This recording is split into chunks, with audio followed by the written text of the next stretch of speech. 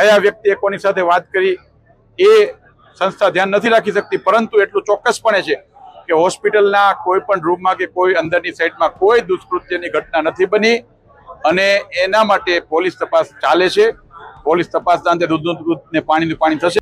રાજ્યમાં શિક્ષણ જગતને લાંછન લગાડતો કિસ્સો થોડા સમય પહેલા સામે આવ્યો. વિદ્યાના ધામમાં અભ્યાસ કરવા આવતી વિદ્યાર્થીનીઓ પર ટ્રસ્ટી અને તેના મિત્ર દ્વારા દુષ્કર્મ આચરવામાં આવતું હોવાની ફરિયાદ નોંધાઈ.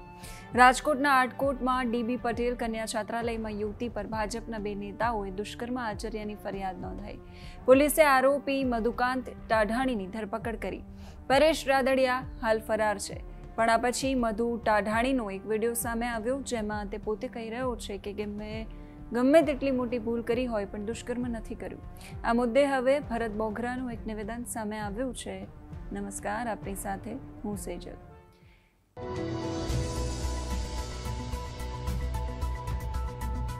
એકવીસ વર્ષીય વિદ્યાર્થીની દ્વારા આટકોટ પોલીસ સ્ટેશન ખાતે આઈપીસી ત્રણસો છોતેર એક, ત્રણસો છોતેર બે, એફ, ત્રણસો છોતેર ડી, ત્રણસો ચોપન એ, પાંચસો ચાર, પાંચસો છ સહિતની કલમ હેઠળ મધુ ટાઢાણી તેમજ પરેશ રાદડિયા વિરુદ્ધ પોલીસ ફરિયાદ નોંધાવવામાં આવી છે. પોલીસને આપેલી ફરિયાદમાં વિદ્યાર્થીનીએ કહ્યું છે કે પરેશ રાદડિયા, ડીબી પટેલ, કન્યા છાત્રાલયમાં ટ્રસ્ટી છે. એક જૂન બે હજાર ત્રેવીસથી ચાર મે બે હજાર ચોવીસ દરમિયાન ડીબી પટેલ, કન્યા છાત્રાલયમાં બંને આરોપીઓએ વિદ્યાર્થીનીની છેડતી કરી તેમજ છાત્રાલયમાં આવેલા રૂમમાં વારાફરતી વિદ્યાર્થીનીની મરજી વિરુદ્ધ બળજબરીપૂર્વક શારીરિક સંબંધ બાંધ્યા હોવાનું પણ એમણે ફરિયાદમાં નોંધાવ્યું છે. વિદ્યાર્થીનીઓ પર દુષ્કર્મ આચરી તેમને જાનથી મારી નાખવાની ધમકી પણ આપી. મધુ ટાઢાણી હાલ પોલીસના સકંજામાં છે, પણ પરેશ રાદડિયા ફરાર છે. જે છાત્રાલયનો ટ્રસ્ટી છે. આ પછી આટકોટ કન્યા છાત્રાલયમાં પાટીદારોની એક મીટિંગ મળી, જેમાં ભાજપ નેતા ભરત બોગરા, ડીબી પટેલ અને ટ્રસ્ટી સહિતના આગેવાનો ઉપસ્થિત રહ્યા. ભરત બોગરાએ આ પાટીદારોની મીટિંગ પછી મહત્વપૂર્ણ નિવેદન આપ્યું. તેમણે કહ્યું કે હોસ્પિટલના કોઈ પણ ખૂણામાં કોઈ દુષ્કર્મ નથી થયું. આ બધા આરોપો હિત શત્રુઓ દ્વારા ઘડવામાં આવ્યા છે. સાંભળીએ ભરત બોગરાને.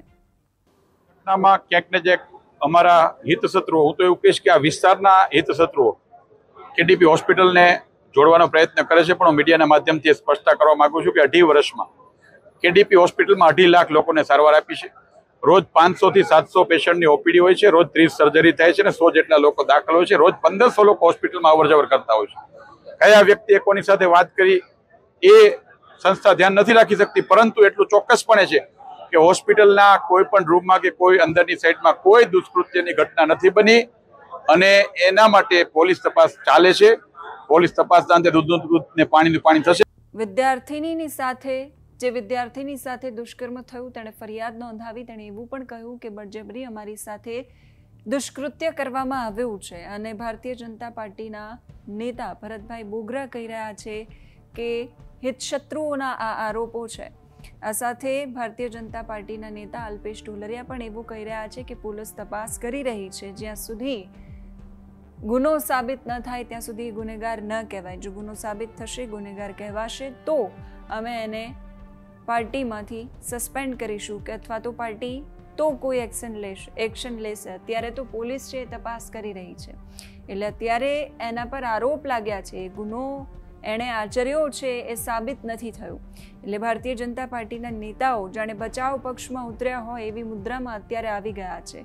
આ કેસમાં પોલીસ તપાસ કરી રહી છે, એક આરોપી ફરાર છે, પકડાયા પછી કેવા પ્રકારની કાર્યવાહી આ બંને પર કરવામાં આવે છે, કેવા ગુના સાબિત થાય છે કે નહીં એ જોવું મહત્વપૂર્ણ રહેશે. અત્યારે આ વિડીયોમાં બસ આટલું જ. નમસ્કાર.